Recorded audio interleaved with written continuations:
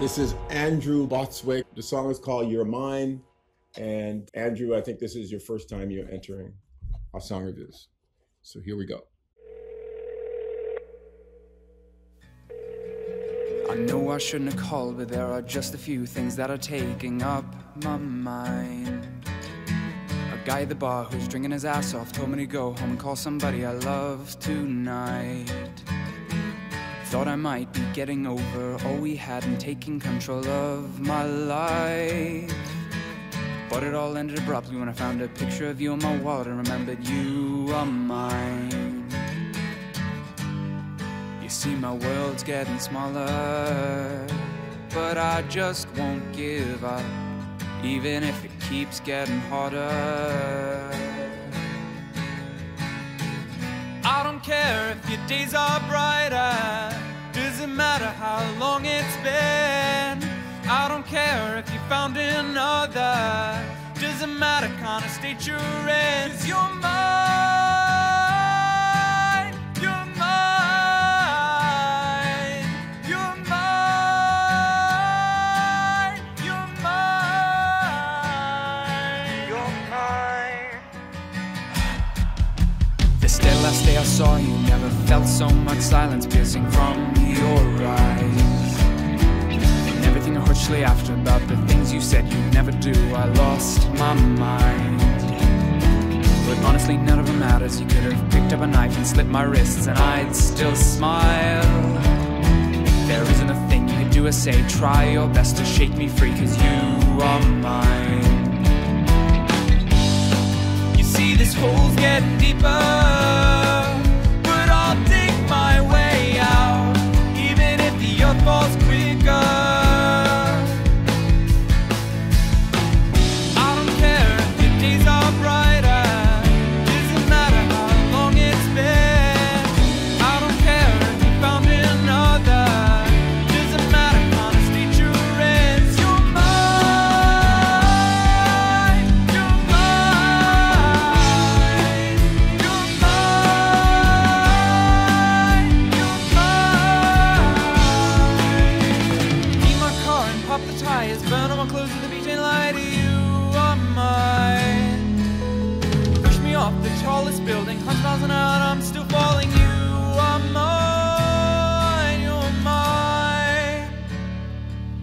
your mind.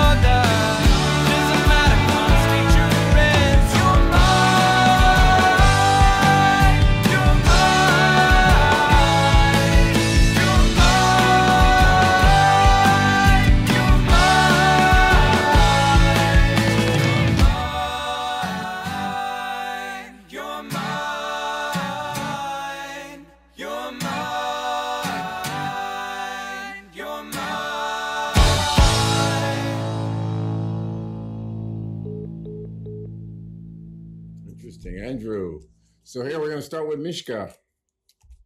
What say you, my friend? I, I thought the, I mean, I, I like I like his voice.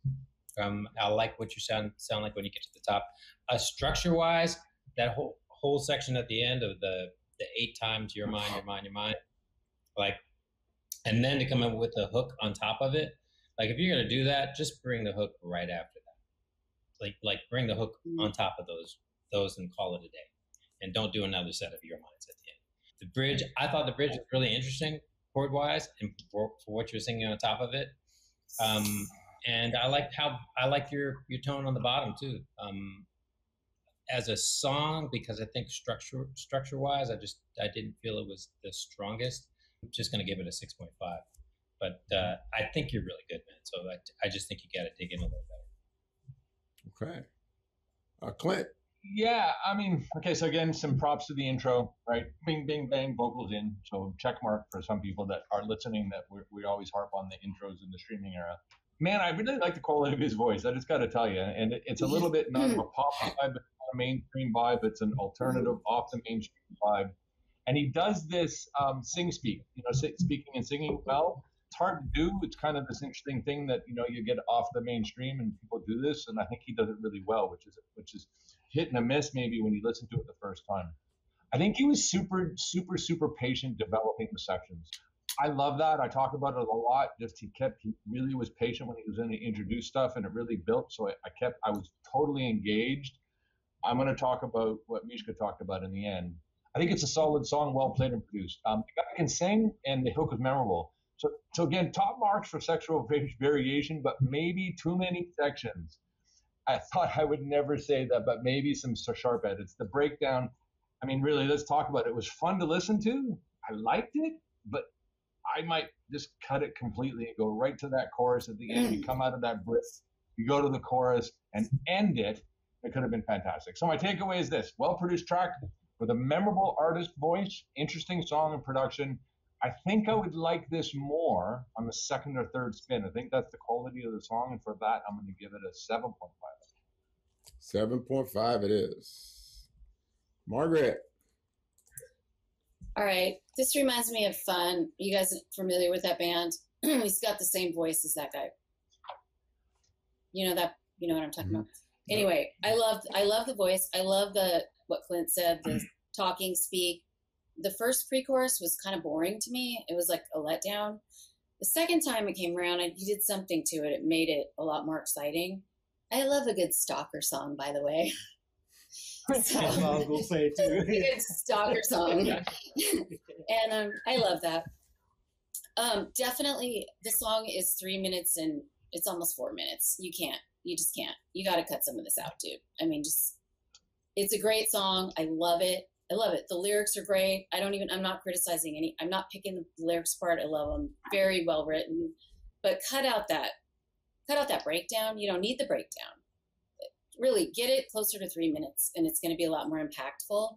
That's what I have to say. Love it though. Um, give it a Mar- Margaret, go ahead. What's your oh. mark?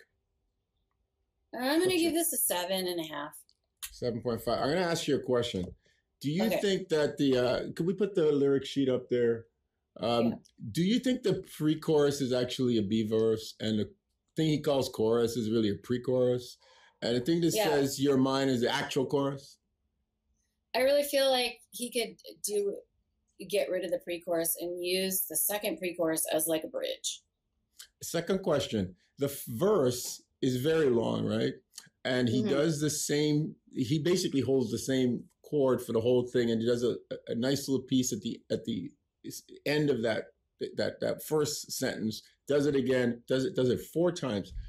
You think he maybe could have done it two times and then get us quicker yeah. to what he calls the pre-chorus? Yep definitely. I've done this with songs where you just you know go back in just cut bits out clean it up and just put in the good parts you know put in the best part like where it says your mind your mind. You could do, do it twice and where he goes up on the last line. I like that. So you could do that or three times. But because that transition from what he calls the verse the pre-chorus is actually sweet. You're waiting for it. It doesn't happen, and he delays it, and you might turn off before you even get to that sweet spot. So I hope you're listening, Andrew, and picking up some of the stuff. Yeah, it's a All really right, good song, though. Yeah, good really song. Like uh, Khalid, what do you say?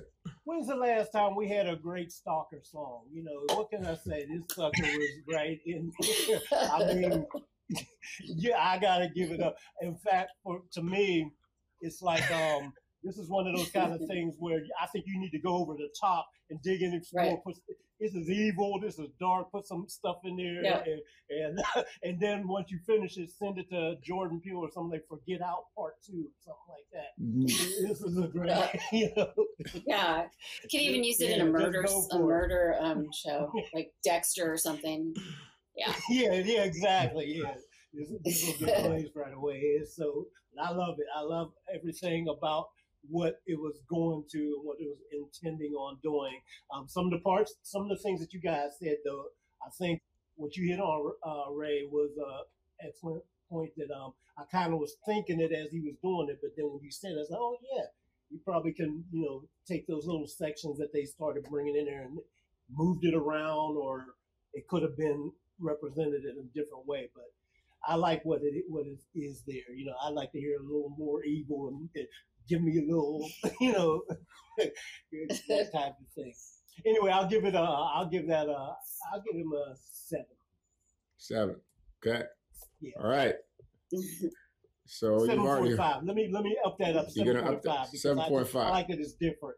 Yeah. seven point five, and there's no question. I can't I can't critique the the choice of the name of the song. It's obviously called to your mind. I think you said it like 38 times in the song. So I don't care what what, Way to you go. think.